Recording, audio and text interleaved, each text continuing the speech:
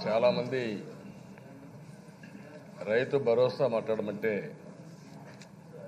Most of the time నన్నే విమర్శించడానికి వెచ్చించారు. నేను దానికి కూడా రిప్లై కూడా ఇవ్వడం లేదు టైం వేస్ట్ చేయదలుచుకోలేదు. అదే మరిగా దశ ఈరోజు రైతు భరోసా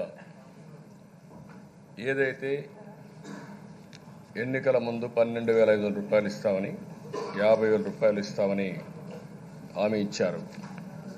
వీళ్ళ మీటింగ్లో కూడా ప్లేనరీ మీటింగ్ పెట్టి రైతు ప్లేనరీ మీటింగ్ పెట్టి అక్కడ కూడా స్పష్టమైన హామీ ఇచ్చారు. అప్పటికి పిఎంవై ప్రధానమంత్రి ఏదో ఇచ్చారో ఆ ప్రోగ్రాం లేదు. తర్వాత ఆరు వేల రూపాయలు వస్తుంది. ఇప్పుడు ఎప్పుడూ చెప్తారు దేశ? మాట తప్పం మడ తెప్పం. ఇది మాట తప్పడం కాకుండా తిప్పడం కాకుండా ఏంటో మీరే సమాధానం చెప్పాలి. ఇప్పుడు ప్లీజ్ ప్లీజ్ ప్లీజ్ పన్నెండు వేల ఐదు వందల రూపాయలు ఇస్తామని ఏడు వేల ఐదు వందల రూపాయలకు మడమ తిప్పిన మీరు మాట్లాడే హక్కు మీకు లేదని మరొకసారి తెలియజేస్తున్న దిశ. ఆ విషయం మీరు గుర్తుపెట్టుకోవాల్సిన అవసరం ఉంది.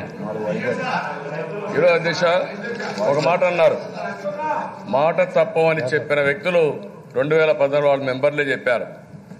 ఆ రోజు రాష్ట్రం పదహారు వేల ఐదు వందల కోట్ల రూపాయల లోటు బడ్జెట్ ఉంటే నేను రుణమాఫీ ఇస్తానని చెప్తే మీరు ఆ రోజు అన్నారు వీలు కాదు కాబట్టి నేను హామీ ఇవ్వనని చెప్పారు.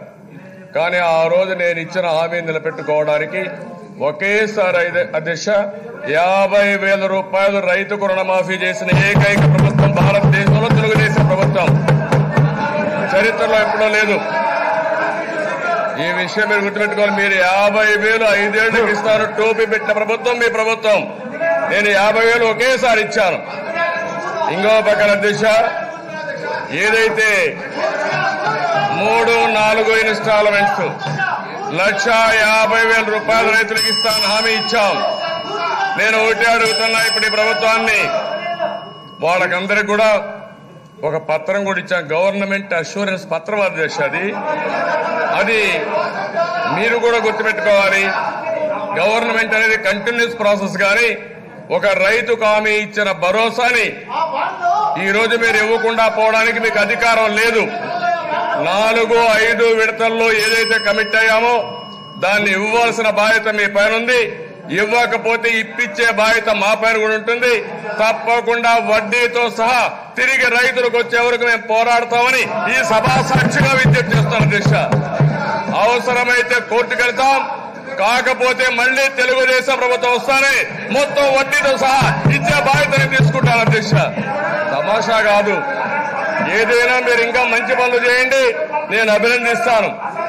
ఈ రోజు మీరు చూస్తే అధ్యక్ష ఒక్క నిమిషం ఎన్నికల ముందు అధ్యక్ష.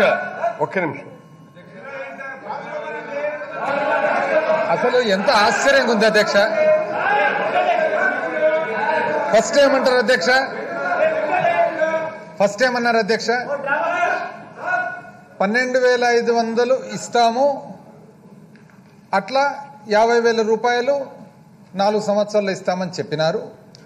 అయితే చెప్పినప్పటికీ కేంద్రము నుంచి వేరే సహాయం లేదు అని చెప్పి తనే చెప్తున్నా. అంటే తనే ఒప్పుకున్నట్లే కదా అధ్యక్ష? ఇప్పుడు ఈరోజు మనం ఏమంటున్నాము కేంద్రము ఇవ్వబోయే డబ్బులు అని తెలియకున్నా కూడా ఆ ప్రస్తావన లేకున్నా కూడా రైతులకు ఈ మేరకు సహాయం అందించాలని చెప్పి వాగ్దానం చేసి ఉన్నాము.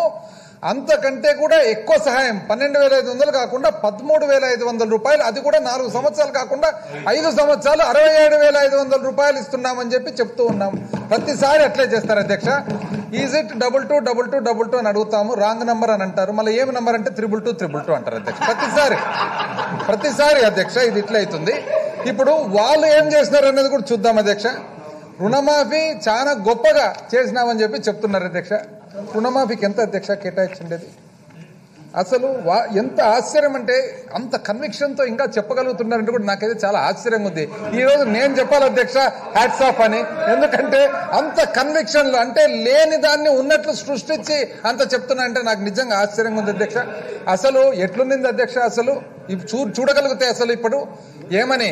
అసలు చూ చూపిద్దాం.